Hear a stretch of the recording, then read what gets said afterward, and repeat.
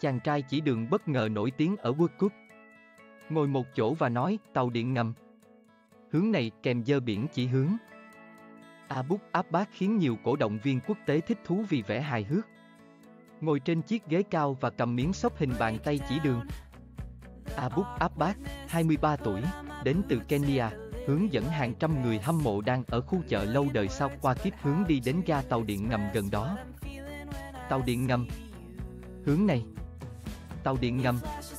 Hướng này, anh nói theo nhịp vào chiếc loa lớn gắn bên cạnh ghế ngồi.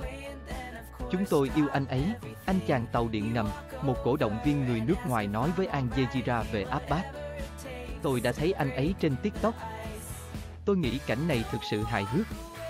Anh ấy làm tôi buồn cười, nhiệm vụ này của anh đúng là đơn giản, một cổ động viên mặc áo đấu của Chelsea chia sẻ.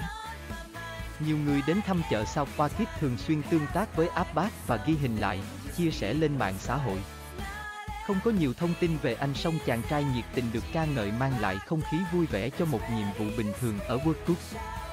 Abbas cũng truyền cảm hứng cho nhiều nhân viên làm công việc tương tự một cách vui vẻ.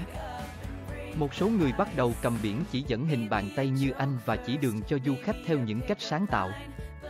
Abbas cho biết thời gian đầu, công việc có chút nhàm chán.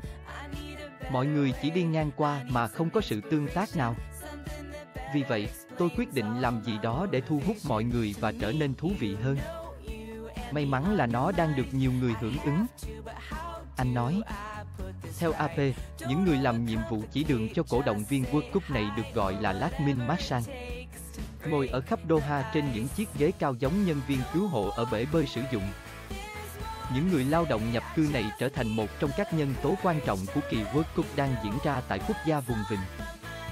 Nhóm này chỉ đường cho các du khách quốc tế đi đúng hướng đến nơi có phương tiện giao thông công cộng, góp phần kiểm soát đám đông bởi dự kiến có 1,2 triệu người hâm mộ trái bóng tròn đổ về quốc gia 3 triệu dân này xem World Cup. Phần lớn người chỉ đường đến từ Kenya và Ghana, đăng ký làm công việc này từ tháng 8, tháng 9. Sau thời gian đầu đơn giản chỉ hô to các câu chỉ dẫn. Nhiều người hiện bắt đầu hát, hô theo nhịp để hướng dẫn cho du khách, gây thích thú. I